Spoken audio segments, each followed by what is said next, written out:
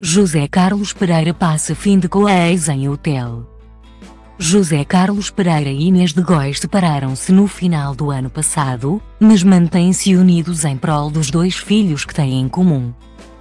Por isso, este fim de semana juntaram-se para um programa diferente em família.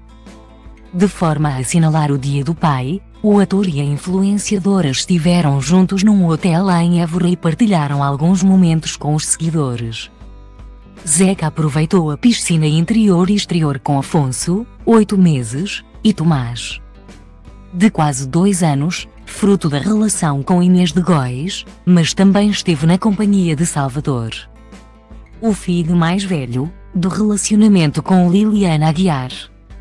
Já Inês, aproveitando a presença de Zeca, como é tratado pelos amigos, tirou alguns momentos a sós para apanhar sol.